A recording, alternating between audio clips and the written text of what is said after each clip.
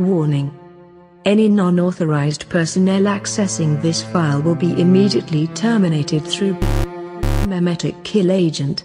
Scrolling down without proper memetic inoculation will result in immediate cardiac arrest followed by death. You have been warned. Memetic kill agent activated.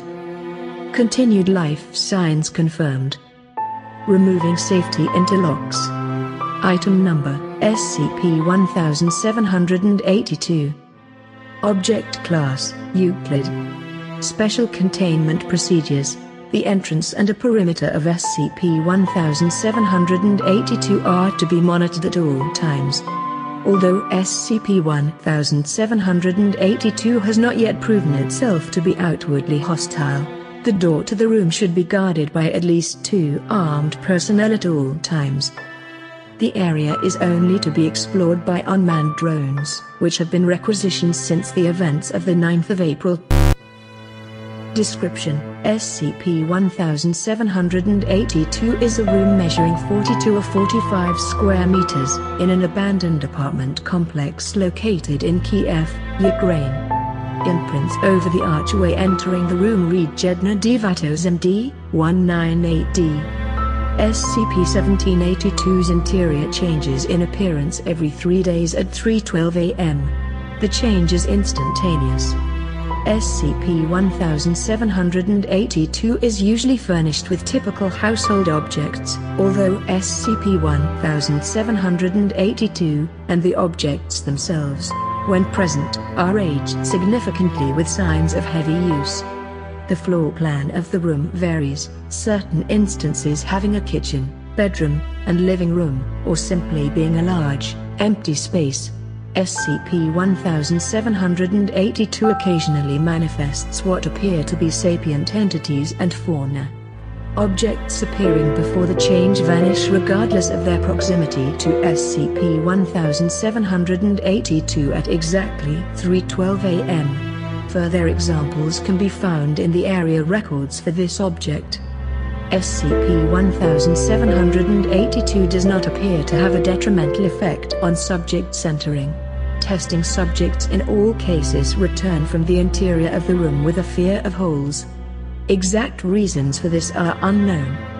Area Record 1782 Date, the 23rd of August Event, room materializes empty. The sound of metal scraping against metal can be heard.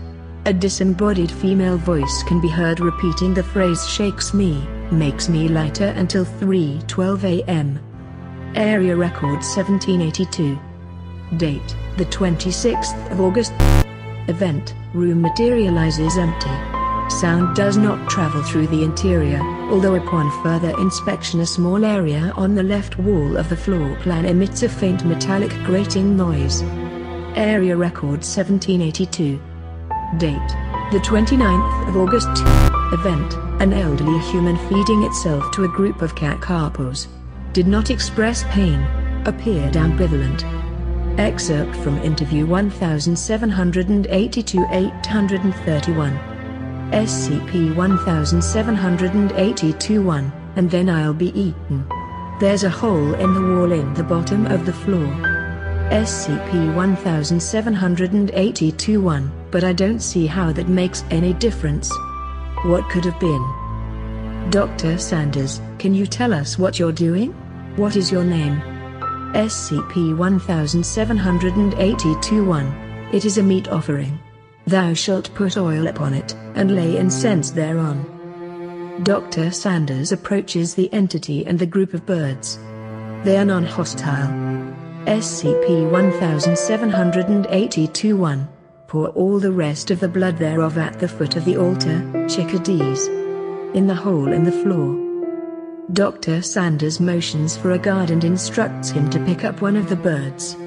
The bird is examined and appears mundane.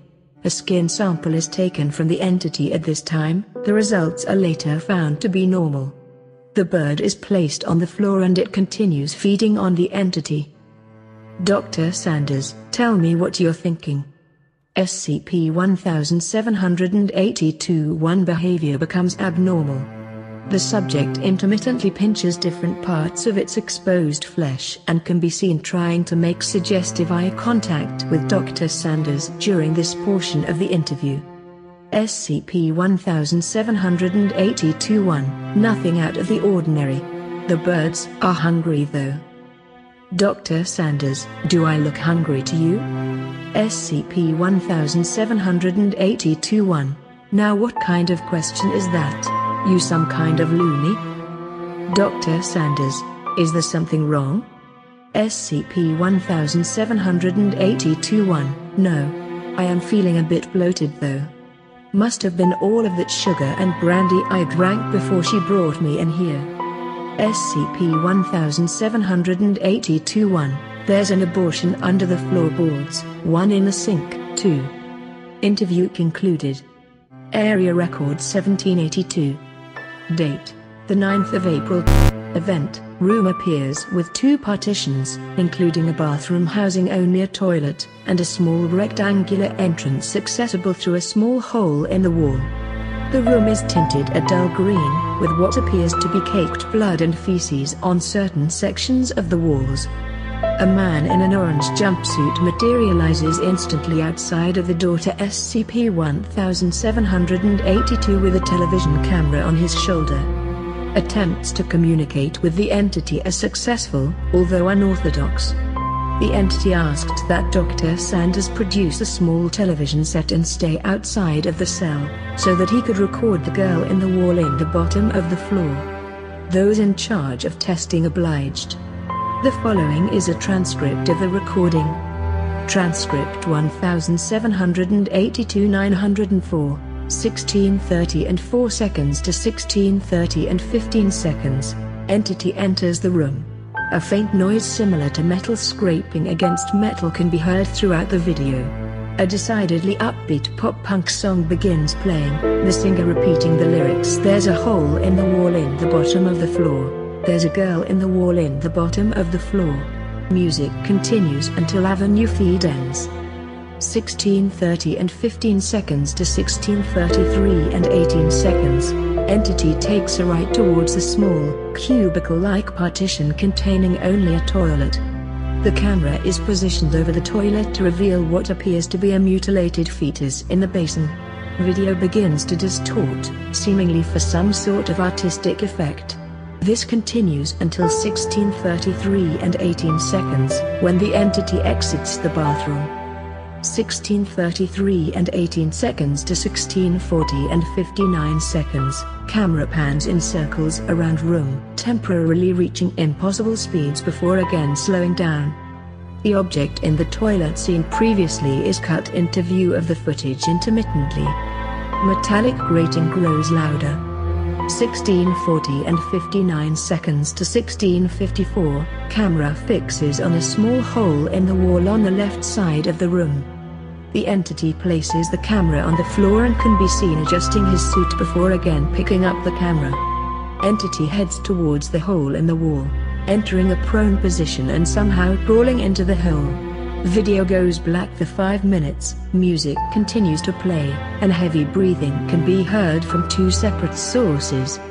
1654 to 1655 and 6 seconds light returns, revealing a damp, muddy area that the camera could not possibly fit in. View is centered toward the ground, gradually scrolling upwards across what initially appears to be a miniature, uncased septic tank with small, skeletal legs similar to a human's. As the view continues to scroll, a clear fluid can be seen spraying in a small funnel upwards into what is later revealed to be a human skull lacking a lower jaw or nasal cavity, with exaggerated eye sockets. Faint crying is audible as the septic tank object's head moves slightly to the right with the aid of small, skeletal hands from opposing sides of the camera's view. Brown liquid sprays onto the object's face before video feed ends. Entity does not return from the hole. An RC car with some obstacle clearing capability was requisitioned and mounted with a GPS and video camera to inspect the whole of the 0904 SCP-1782. The device successfully entered the hole and a live feed confirmed the object recorded by the previous entity. Video feed of the object reveals limbs and head of the object moving slowly up and down. Footage went on steadily past 3.12 am, revealing that the object does not disappear during SCP-1782 cycles, although the entrance to its location is no longer present. GPS positioning reveals the location of the entity to be in the same location as Dr. Sanders, although testing reveals this to be false. Later GPS readings suggest that the device is located at any mature female within 5 meters of SCP-1782 on any given day. The entity located outside of the door prior to exploration could not be located. The area was deemed safe and researcher Breen and Ortega were dispatched one hour before SCP-1782's reset time of 3.12 am to receive a DNA sample from the object in the toilet.